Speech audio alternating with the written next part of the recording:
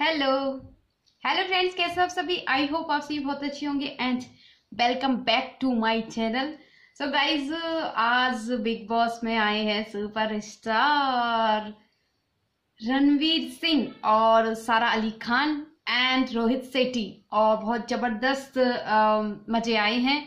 और रोहित रोहित सेठी जब से खतरों के खिलाड़ी करने, कर रहे हैं, तब से वो आते ही हैं बिग बॉस में।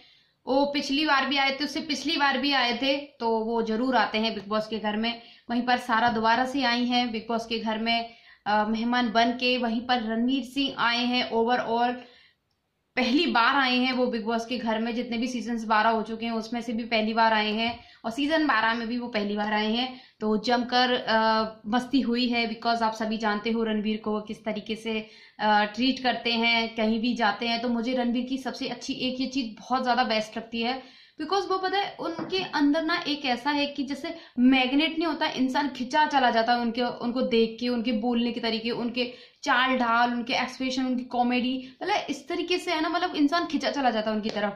तो रणवीर के लिए मैं मतलब क्या बोलू, जितने अभी मेरे पास में वर्ड्स भी नहीं है उनको डिफाइन करने के लिए कि वो मतलब कि कितने बड़े सुपरस्टार हैं और सबसे बड़ी बात है कि उन्होंने जिस तरीके से दिल जीते हैं जनता का ओ माय गॉड मतलब उनके जो तरीके हैं जिस तरीके से वो मतलब ओवरऑल खो जाते हैं उस माहौल में एकदम कि वो ये नहीं देखते कि मैं कि, किस तरीके से ट्रीट कर रहा हूँ अपने आप को या लोग मुझे किस नज़रिए से देखेंगे। नो no, वो सिर्फ़ अपनी परफॉर्मेंस पे और अपने जो जिस दिल जो आ, मैं क्या बताऊँ दो दिलकश अंदाज और एकदम खुला व्यवहार जो टाइप के जो बंदे होते हैं ना एकदम खुल्लम खुल्ला उस तरीके से रणवीर रणवीर सिंह है और मैं क्या बोलूँ मैं, क्या बोलूँ मैं, क्या बोलूँ? तो बहुत ही मज़ा आया उनको देख कर और मज़ा आ गया। और जिस तरीके से स्टेज पर मस्ती हुई जहाँ करण जौहर को उन्होंने एज ए मौज मस्ती की करण के साथ में बहुत मज़ा आया। उसके बाद में घर में घर में भी ज़्यादा कुछ दिखाया नहीं है, बाकी का तो हम कल कंटिन्यू करेंगे उनके साथ में। वहीं पे घर पे सिर्फ़ सारा की जो टीम बनी बॉयज़ बॉयज़ की और रणदीप की जो टीम बनी गर्ल्स गर्ल्स की पूरी जहाँ पर रोहित सेठी ने उनको एक एक डांस करने के लिए एक एक लाइन दी जिसमें सारा की थी झाड़ू पहुँचा और करण तो माई माई गॉड मतलब करण क्या कर रहे थे? मतलब कि हद हो गई मतलब पूरा ज़मीन में लेट गए। करण जमकर इतना मतलब मज़ा आया करण को देख के मतलब पूरा लेट गए और जिस तरीके से उन्होंने किया मतलब कि पहुँचे के साथ में जिस तरीके से वो कर रहे थे, सलमान खान वाला एक एक्शन कर रहे थे। बहुत मज़ा आया ये सब चीज़ें देख के। वही बार कल हम कंटिन्यू करेंगे साथ में रणवीर की क्या परफॉर्मेंस रहती है, क्या उनके जो जिस तरीके से वो जॉम्बिस बनी है, कितना जॉम्बिस अपना दिखा पाएँगे टैलेंट तो देखते हैं। Girls zombies girls zombies okay तो अब आते हैं घर की वार्तालाप पे कि आज बिग बॉस के घर में क्या क्या हुआ। किसने किस तरीके से आ, क्या बोला है क्या टास्क हुए हैं आज घर के अंदर? तो देखो वहीं पर आज देखो घर के अंदर आ, रैंकिंग हुई और इस रैंकिंग में बेसिकली आप सभी समझ सकते हो अगर घर वाले अपना हर कोई अपने आप को फ़र्स्ट नंबर पे देखता है फ़र्स्ट नंबर की रैंकिंग पे देखता है लेकिन पता है इन घर वालों में ऐसा नहीं है। यहाँ पर इनका है एक जैसे कि सलमान जी ने भी वही बात बोली इनका क्या है कि जैसे रैंकिंग जिस तरीके से हिसाब से हो रही है ना तो ठीक है एक्सेप्ट कर लेते हैं। ये लड़ते नहीं है कि नहीं, कि मुझे फ़र्स्ट रैंकिंग पे होना चाहिए या मुझे इस वजह से फ़र्स्ट रैंकिंग पे होना चाहिए। ऐसा नहीं है इनके अंदर। इनको रैंकिंग दे दी कि हाँ ठीक है, आप चौथे नंबर पर डिजर्व करते हो तो वो जाकर चौथे नंबर पर खड़े हो जाएँगे। अपने आप को डिफाइन नहीं करते। मतलब अपने लिए लड़ते ही नहीं है ये लोग। ये और शायद ये बिग बॉस पैरा की खासियत भी रही है इन लोगों में कि ये महानता वाले लोग कुछ ज़्यादा ही आए हैं अब की बार। अपने लिए बिल्कुल भी नहीं लड़ना होता है। वहीं पर ही सबने जैसे ही जब रैंकिंग हो रही थी, सबने अपने अपने पॉइंट ऑफ़ व्यू दिए, जहाँ पर श्री और दीपिका फ़र्स्ट और सेकेंड नंबर पे खड़े हुए थे, जहाँ वो रैंकिंग जिस तरीके से थी, वो मुझे कहीं ना कहीं डिजर्विंग लग रही थी।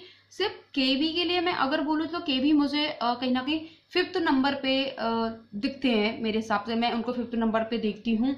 वहीं पर ही देखो बहुत सारी बात हुई ओवरऑल और जो रिज़ल्ट निकल कर आया लास्ट में यही रिज़ल्ट निकल कर आया कि जो फ़र्स्ट रैंकिंग पे गए, वो दीपक गए सेकंड पे श्री गए थर्ड पे रोमिल गए फोर्थ पे सोमी गई फिफ्थ पे सुरभि गई सिक्स पे के भी गए, और सेवेंथ पे दीपिका।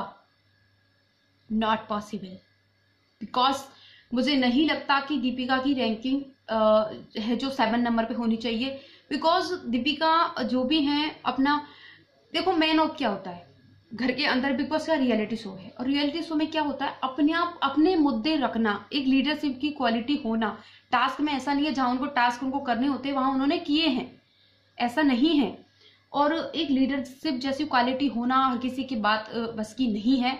तो मेरे हिसाब से मैं अगर मैं रैंकिंग दूँ तो देखो मेरे हिसाब से फ़र्स्ट नंबर पे श्री होने चाहिए, क्योंकि ओवरऑल अगर देखा जाए तो बिग बॉस के घर में देखो कितना एकदम सुन्न सन्नाटे की तरह बिग बॉस बिग जा रहा था बिग बॉस बारह लेकिन जैसे ही श्री ने अपने ताव झाव, और जिस तरीके से लड़ाइयाँ या वो उन्होंने ड्रामा किया या एक्टिंग की वगैरह वगैरह कुछ भी था, चाहे, लेकिन श्री की वजह से ही कहीं ना कहीं शो में टीआरपी वाला एक टीआरपी जैसी एक वर्ड्स आए।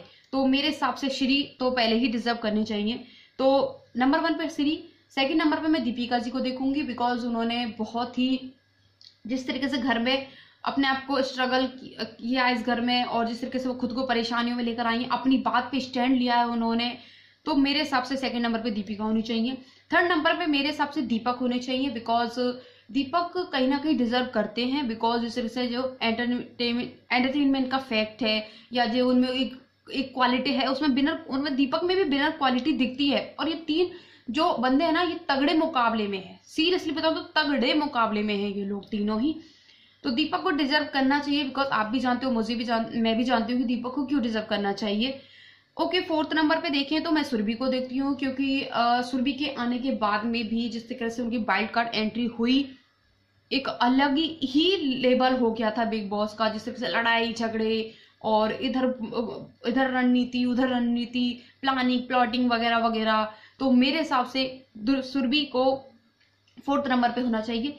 फिफ्थ नंबर पे मैं केबी को इसलिए देखती हूँ क्योंकि अगर वो महानता वाला टैग लेकर नहीं घूमते तो कहीं ना कहीं वो भी सक्सेस हो सकते थे बिग बॉस के हाउस में। लेकिन उनके महानता के चक्कर में वो महानता उनको ले डूबी और मैं उनको फिफ्थ नंबर पे देखती हूँ।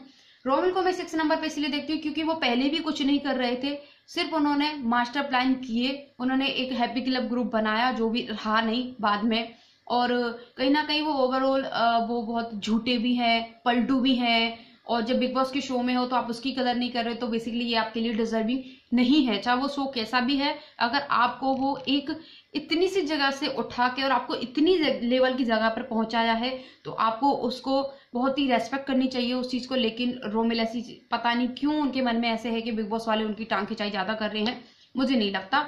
तो मेरे हिसाब से सिक्स पे रोमिल होने चाहिए। और सेवन पे अगर मैं देखूँ तो सोमी होनी चाहिए बिकॉज़ सोमी का हमने इतना पॉइंट ऑफ़ व्यू मैंने भी नहीं देखा है। वो हमेशा मुझे ओवरऑल पूरे टाइम सिर्फ़ यही कहते हुए सुनाई पड़ी है बिग बॉस बारह में कि तमीज से बात कीजिए, तमीज से बात कीजिए, तमीज से बात कीजिए। तो तमीज तमीज तमीज की ही एक पॉइंट नहीं होती है बहुत सारी और भी चीज़ें होती है तो मेरे हिसाब से सेवन नंबर पे सोमी डिजर्व करती है। अगर मैं सोमी और रोमिल का देखूँ तो सिक्स पे सोमी हो सकती हैं। अगर नहीं माने तो रोमिल सेवन पे हो सकते हैं, लेकिन रोमिल सेवन पे ही होंगे। ओके तो ये सब रैंकिंग हुई इनके इनमें। तो मेरे हिसाब से तो top three Deepak, Deepika and Shree यही तीनों होने चाहिए। उसके बाद में सलमान उससे पहले ही रोमिल ने जैसे ही अपने आप को थर्ड नंबर पे देखा तो रोमिल को भी कहीं ना कहीं भाप लग गई कि यार मैं थर्ड नंबर पे डिजर्व नहीं करता हूँ, कहीं ना कहीं मनी मन में। लेकिन जब वो, उनको मिल रही है तो वो क्यों छोड़ेंगे? जैसे दीपक को फ़र्स्ट रैंक के लिए जैसे बोला गया तो उन्होंने कहा कि जब मुझे सब अपने फ़र्स्ट रैंक पर रख रहे हैं, रख रहे हैं तो मैं क्यों छोड़ू? मैं बिल्कुल नहीं छोड़ूँगा ऑब्वियसली कोई नहीं छोड़ेगा। दीपक कहीं ना कहीं बहुत सही जा रहे हैं, अभी स्ट्रेट फॉरवर्ड भी हैं, बहुत अच्छे तरीके से बात करते हैं, बोलते हैं, जो बात मन में होती है, वही बोलते हैं, सही होती है, वही बोलती है। वही बोलते हैं। वहीं पर ही रोमिल ने रोमिल ने कहा कि यार, अब देखो सलमान सर आएँगे। मेरे को बोलेंगे, रोमिल को थर्ड नंबर पे क्यों? लेकिन ऐसा नहीं बोला गया, क्योंकि जब वो ऐसा बोल देता है ना, कोई तो एक बात हो जाती है, यार, इस बात को छेड़ना ही नहीं, जब उसने भूल ही दिया तो। भाई मेरी सुरभि और करण ने आज बात की दीपिका और श्री के लिए, जहाँ पर श्री बड़े ही गौर से सुन रहे थे। मुझे वो बहुत फनी भी लगा, जिस तरीके से श्री सुन रहे थे, चुपचाप उनकी बातों में एकदम चोरों की तरह। तो सुरभि ने बात की करण से कि दीपिका जी का जो पॉइंट ऑफ़ व्यू है वो क्लियर नहीं होता है वो स्टैंड नहीं लेती हैं अपने लिए और वो गलत चीज़ों में ज़्यादा चली जाती हैं। वो बहुत अच्छी लेडी हैं बहुत अच्छी केयर है डिजर्व करती हैं वो आ, इस शो में रहना और जिसको जीतना भी। लेकिन वो कहीं ना कहीं बहुत सारी चीज़ों की वजह से जिस तरह से उन्होंने सीरी को आ, का पक्ष लिया है या घर में जिस तरीके से उनके टास्क वगैरह में इनकी कमी रही है तो उसकी वजह से मेरे को ऐसा लगता है कि दीपिका जी कहीं ना कहीं मतलब कि बिखरी हैं घर के अंदर और मुझे इन्हीं चीज़ों की वजह से जैसे उन्होंने गलत में श्री को सपोर्ट किया है तो मुझे उस वजह से उनके अंदर वो एक ईगो वाली चीज़ लगी, इसलिए मुझे वो अच्छी नहीं लगती हैं। वही पर ही उन्होंने श्री के लिए बोला कि उसने किया क्या है, और वही ड्रामा किया है घर के अंदर, और एक्टिंग की है, हर चीज़ को टीआरपी में टीआरपी के लिए चाहिए फुटेज के लिए चाहिए वगैरह वगैरह उन सब की बातें की। वहीं दीपिक केवी ने भी कहा कि नहीं जैसे मेरे को ये फेक फेक बोलते हैं, ये फेक हैं केवी फेक हैं, यहाँ पे अपने आप को मतलब कि दिखा रहे हैं, ऐसे मुखौटा पहनकर आए हैं। लेकिन मेरा मानना ऐसा है कि श्री जो है ना, वो खुद एक मुखौटा पहनकर आए हैं और श्री जिस तरीके से भार है, जहाँ वो अंदर जो भार है ना, वो यहाँ पर नहीं है। वो खुद को ना ब्लन बनाने की कोशिश कर रहे हैं। मतलब कि वो खुद कहते हैं कि मैं कोई हीरो वीरो नहीं हूँ, मैं अपने आप को ब्लन के रूप में देखता हूँ। तो वो सब इनकी बातें चल रही थी सुरभि और करण की वहीं पर ही। बहुत गौर से सुन रहे थे श्री, बहुत गौर से, जहाँ पर उन्होंने एक ही बात बोली कि मैं सब सुन रहा हूँ और मुझे ये सब सुनाने के लिए बोल रहे लेकिन मैं इस पे कोई भी रिएक्ट नहीं करूँगा, जनता। ओके। उसके बाद में सलमान जी आए घर में और घर के अंदर उन्होंने सबसे पहले जो बात की वो की करण से, उनके, करण के कपड़ों के लिए, करण के लुक्स के लिए, करण के आईलेसिस के लिए कि मुझे नहीं पता, मैंने नहीं सुनी है एक्चुअली ये वाली बात की करण की आईलेसिस के लिए। लेकिन मैंने भी आज गौर से देखा है, उनके काफ़ी जो है वो आईलेसिस काफ़ी बड़े बड़े दिख रहे हैं तो डेफिनेटली आईलेसिस की बात होनी ही है। फैंस कहीं भी नहीं छोड़ते हैं किसी भी चीज़ पे। उसके बाद में उनकी टांग खिंचाई करने के बाद में इन्होंने नंबरिंग की और नंबरिंग में नंबरिंग की बात की और नंबरिंग में सबसे पहले बात की, उन्होंने दीपक से पूछा कि आपको दीपिका जी सेवन नंबर पर कैसे लिखती, लगती हैं और क्यों लगती है? वहीं पर ही दीपक ने कहा कि अगर मैं घर के तरीके में देखूँ तो वो टास्क बहुत कम करती हैं और उनसे घर वालों का इतना इन्वॉल्वमेंट नहीं है। उन्होंने एक, अपना एक ही दोस्त बना रखा है, बाकी के घर में उनके कोई दोस्त नहीं है मतलब किसी से इतनी अच्छी बॉन्डिंग नहीं है। तो वहीं पर ही देखो, इन सारी चीज़ों में अगर देखें तो दीपक कहीं ना कहीं शायद उनके साथ में जो हाँ देखो मैं सबसे पहले एक बात क्लियर करूँगी, जो ये बार बार बोलते हैं कि उन्होंने अपने भाई को सपोर्ट किया, उन्होंने अपने भाई को सपोर्ट किया, लेकिन मैं ऐसा मानती हूँ, उन्होंने भाई को सपोर्ट किया भी है और साथ में देखा जाए तो उन्होंने उनको बोला भी है। जब भी वो कुछ गलत करते हैं तो श्री श्री के लिए उन्होंने बोला है, लेकिन इन लोगों को पता क्यों लग रहा है कि वो श्री के लिए बोलती नहीं है? बिकॉज़ इन सब के सामने नहीं बोला है। वो श्री को ले जाके कहीं पर या गार्डन में या कहीं ऐसे तब वो उनको बात करते हैं और वो बोलते हैं कि भाई आप गलत हो। बहुत स्लो में बोलती हैं जिससे दूसरे लोग ना सुने। तो इन लोगों को यही कीड़ा है कि हमने वो बात क्यों नहीं सुनी? और इन्होंने वो देखी नहीं है, लेकिन हमने वो चीज़ देखी है कि दीपिका ने अपना पॉइंट रखा है, जहाँ वो गलत होते हैं, वो, उन्होंने गलत के लिए भी उनको बोला है श्री को जहाँ अच्छे होते हैं, उन्होंने अच्छे के लिए भी बोला है। तो डेफिनेटली मुझे दीपिका जी इस चीज़ में बिल्कुल भी गलत नहीं लगती है। वो बहुत ही सही जा रही है अपने तरीके से। ओके okay, उसके बाद में जब दीपक जिस तरीके से बात बोले और जिस तरीके से उनको सेवन नंबर पे देखे ये कोई रीजन नहीं होता किसी को सेवन नंबर पे देखने का। वहीं पर ही सलमान जी ने बहुत ही सही बात बोली कि ये लोग आपको घर से बाहर देखना चाहते हैं। जब जब जिस दिन आप घर से बाहर निकल जाओगी ना उस दिन का ये लोग वेट कर रहे हैं और डेफिनेटली ये लोग उसी दिन का वेट कर रहे हैं। वहीं पर ही दीपिका जी से पूछा गया कि आप सेवन नंबर पे किसको देखती हो? तो उन्होंने कहा कि मैं सेवन नंबर पे सोमी को देखती हूँ। और डेफिनेटली बिल्कुल सही बोला उन्होंने, सोमी सेवन नंबर पे डिजर्व करती है, मेरे को ऐसा लगता है। मेरे को ऐसा लगता नहीं, लगता है ही कि सोमी को सेवन नंबर पे ही सुर्गी से पूछा गया कि आप दीपक को फ़र्स्ट नंबर पर क्यों नहीं देखना चाहती हो? तो जहाँ पर उन्होंने क्लियर जवाब दिया सोमी, सुरभि ने बोला कि मुझे दीपक का ऐसा लगता है कि वो बहुत ही ज़्यादा मोस्ट इरिटेटिंग पर्सन है, जिसकी वजह से वो डिजर्व नहीं करते। तो माई गॉड मतलब सीरियसली जो मोस्ट इरिटेटिंग सबसे ज़्यादा जो है वो सुरभि रही है घर के अंदर, सबसे ज़्यादा जिनकी उनकी हरकतें रही हैं, चाहे वो इमोशनली रही हैं या वो वो एक रेवेंज के तौर पे रही हैं, लेकिन सबसे ज़्यादा इरिटेटिंग वो ही रही है। वहीं पर ही जहाँ पर एक बोला भी था कि लोग अपनी टीवियाँ तक बंद कर देते हैं। जैसे ही बिग बॉस स्टार्ट होता है वो बिग वो शायद हमें सुरभि के केस में ये सुनने को मिला था। तो इसीलिए सलमान जी ने वो बात कम से कम आठ से नौ बार रिपीट की क्या सुरभि मैंने सुना नहीं? क्या सुरभि मैंने सुना नहीं? तो डेफिनेटली वो उसको ही बोलना चाह रही थी कि तुमसे ज़्यादा इरिटेटिंग घर के अंदर कोई भी नहीं है। वहीं पर ही उनसे पूछा कि सोमी को आप आ, आप फोर्थ नंबर पे कैसे देखती हो? सुरभि मुझे आप ये बताओ। तो जहाँ पर सुरभि ने कहा कि मुझे सोमी, जैसे फीडबैक आया है तो रोमिल और दीपिका से ज़्यादा मुझे सोमी डिजर्विंग लगती है इस गेम के अंदर फोर्थ नंबर के लिए। तो वहीं पर ही देखो, मेरा देखा जाए तो दीपिका जी के लिए भी बहुत सारे कॉम्प्लीमेंट आए हैं और सोमी का अच्छा है नेचर ठीक है उसका, लेकिन उनकी कई हरकतें ऐसी हैं, बीच में बोलना, बहुत अजीब से तरह से बोलना, बहुत, मुझे थोड़ा सोमी थोड़ा अजीब लगती है। देखो मैं जो, मुझे लगती है जो मैं बोल रही हूँ। तो मुझे नहीं लगता कि सोमी को फोर्थ नंबर मिलना चाहिए उनको सेवन नंबर पे ही होना चाहिए था। वहीं पर ही तो उसके बाद में जब ये आ, सोमी के लिए जब ये सब बोला गया तो दीपिका के लिए भी उनसे पूछा गया कि आपने दीपिका जी को सेवन नंबर पे किस बेस पे देखा है? पहले तो आप हमें ये समझाइए। तो उस बेस पर उन्होंने कहा कि वही वो टास्क परफॉर्म नहीं करती हैं स्टैंड नहीं लेती हैं किसी भी चीज़ के लिए और जो बाहर से भी फीडबैक आया है, उसमें दीपिका जी को कोई अप्रिसिएट नहीं किया गया, सोमी को ज़्यादा किया गया है तो वही वगैरह वगैरह वो वाली सारी चीज़ें उन्होंने बोली। फिर उसके बाद में घर वालों से रैंकिंग के लिए दोबारा से रैंकिंग हुई, सलमान जी के सामने दोबारा से रैंकिंग हुई कि आप कौन किसको कहाँ देखता है? तो वहीं पर सुरभि ने देखो सुरभि मतलब इतना जल्दी पलटू राम की तरफ़ पलटती है ना कि मैं इतना इतना बड़ा पलटू राम। जैसे ही सलमान जी ने पूछा तो सुरभि ने फ़र्स्ट फ़र्स्ट नंबर पे ही नाम लेती है दीपिका जी। मैं दीपिका जी को सेवन नंबर पे देखती हूँ। पूछा गया, क्यों? क्योंकि देखा जाए अगर घर के अंदर तो बहुत अच्छी वो केयरिंग है, अपना पॉइंट रखती हैं और बहुत सी ऐसी चीज़ें हैं जहाँ पर उनको बोलना चाहिए तो वो बोलती भी हैं। तो सच में, सुरभि मतलब कि इतनी जल्दी लंबी छलांग लगाकर कूदना उस चीज़ में? हाँ कैसे कर लेती हो सुरभि? थोड़ा सोचो, तुमने अभी एक घंटे पहले क्या किया है? ऐसे लोग कहाँ डिजर्व करते हैं यार बिग बॉस को जीतना? ओके, उसके बाद में केबी से पूछा गया जब केबी ने सुरभि का नाम लिया कि मैं सुरभि को देखता हूँ। रोमिल से पूछा गया, उन्होंने मुझे, वैसे तो सुरभि लगती है, लेकिन मैं देखूँ तो मुझे श्री ज़्यादा डिजर्विंग लगते हैं। दीपक से पूछा गया, उन्होंने भी श्री का नाम लिया। दीपिका जी से पूछा गया ऑब्वियसली श्री और श्री से पूछो तो दीपिका तो ये वो एकदम जैक वाला था एक। उसके बाद में जब रैंकिंग हुई तो जैसे ही फिर सलमान जी ने सुरभि से पूछा कि, सुरभि, इतनी लंबी छलांग आप कैसे लगा लेती हो?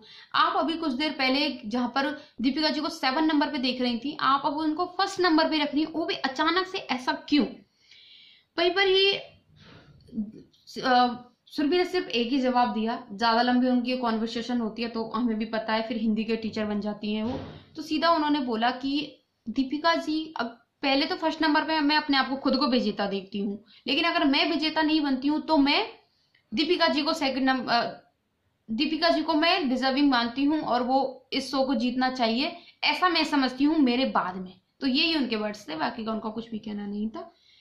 कुछ कह भी नहीं सकते। मुझे ऐसा लग रहा है कि सुरभि कहीं ना कहीं अपना दीपिका जी के साथ में एक बॉन्ड बनाने की कोशिश कर रही है। और अगर वो दीपिका जी के साथ में बॉन्ड बना लेती है तो डेफिनेटली श्री के साथ में भी उनका अच्छा बॉन्ड हो ही जाएगा। डेफिनेटली तो सोचने वाली बात है। वहीं पर ही आ, केवी रोमिल सोमी एंड रोमिल से पूछा गया आज uh, उस टास्क के बारे में जो Bigg Boss Bigg Boss fire जो स्टेशन वाला टास्क हुआ था, जिसमें ये जिस तरीके से प्लानिंग प्लानिंग कर रहे थे और जिस तरह से उनकी प्लानिंग फेल हुई तो वो दीपक से उनसे पूछा गया और दीपक ने बहुत ही सुंदर तरीके से जवाब दिया इस चीज़ का कि हम तो खेल ही खेल रहे थे, लेकिन सबसे ज़्यादा खेल रहे थे वो बिग बॉस खेल रहे थे। हमने बहुत ही अच्छी प्लानिंग की थी और बिग बॉस इस तरीके से खेले कि वो लोग हमारे ही पिक्चर्स लेकर आ रहे थे, हमें ही डुबाने में लगे हुए थे। कहीं ना कहीं हम ये सोच रहे थे कि हम चार में से कोई ना कोई एक बंदा तो दावेदारी के अंदर जाना जाना ही चाहिए। लेकिन बिग बॉस वाले खुद ही एक अपना अलग गेम खेल रहे थे। हमारी और हमारे साथ के ही साथियों की फ़ोटो लेकर आ रहे थे। तो ऑब्वियसली अगर दो जने सीट पर बैठे हैं और दोनों की फ़ोटो आती है तो ऑब्वियसली वो सब अपना अपना बचाने की कोशिश करेंगे। ये तो डेफिनेटली सी ही बात है। तो कहीं ना कहीं दीपक को समझ में आ गई थी। तो उनसे पूछा गया कि आपकी इतनी स्ट्रॉन्ग प्लानिंग थी और इस चीज़ के बारे में फिर क्या हुआ? तो उन्होंने के लिए बोला कि भैया, एक तो बिग बॉस का गेम था। ऊपर से फिर हमने कोशिश भी की, फिर हमारे केबीजी के मन में बहुत बड़ी महानता जागी कि इन लोगों को सबको मौका देना चाहिए एक एक तो उस महानता के चक्कर में नैया डूब गई और फिर बिग बॉस वाले भी खेल गए। ये वाली बात हुई। वहीं पर ही उन्होंने फिर उनसे पूछा गया, जो दावेदारी का टास्क हुआ था टेलीफोन के लिए, जो नौ मिनट जो ज़्यादा बैठे थे दीपक, उसके लिए बात हुई, जहाँ दीपक ने उनके लिए, उनके ऊपर बहुत सुंदर सा गाना बना दिया नौ मिनट के ऊपर। मतलब दीपक में टैलेंट तो यार कूट कूट के भरा पड़ा है बंदे में यार, एक बात बोलू तो। क्योंकि ना वो मतलब कि ऐसे लिरिक्स बनाना और उसको फिर एक एक सरगम में, एक ट्यून में, एक साउंड में लेकर आना, बहुत ही एक टैलेंट वाली बात होती है। क्योंकि बिग बॉस के घर में ना पेन है, ना पेंसिल है, कुछ भी नहीं है। मनी मन के अंदर, मनी मन के अंदर अपने तारों को जोड़ना, उस सरगम सरगम को जोड़ना, उन लिरिक्स को जोड़ना बहुत बड़ी वाली बात होती है। और नौ मिनट के ऊपर जिस तरह से उन्होंने वो खूबसूरत गाना बनाया tell me O Janata what is my fault मतलब कुछ ऐसा व्हाट इज़ माय मिस्टेक तो बहुत ही सुंदर गाना था वो, दीपक का बहुत ही सुंदर गाना था सीरियसली दीपक को टैलेंट कूट कूट के भरा है, लेकिन थोड़ी सी हरकत ऐसी है, लेकिन टैलेंट कूट कूट के भरा है। बंदे को देखना, जहाँ से निकलते ना, फ़िल्म पे फ़िल्म मिल, के लिए सॉन्ग मिलेंगे उनको, और मिलने भी चाहिए यार।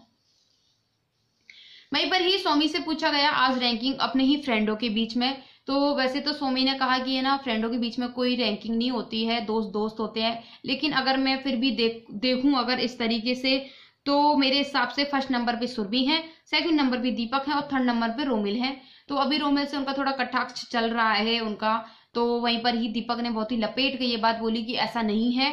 फ़र्स्ट नंबर पे रोमिल है सेकंड नंबर पे सुरभि और थर्ड नंबर पे मैं हूँ बिकॉज़ रोमिल को वो बहुत ज़्यादा प्रायोरिटी देती हैं और वो उनकी बेस्ट फ्रेंड है और वो बाहर भी रहेंगी।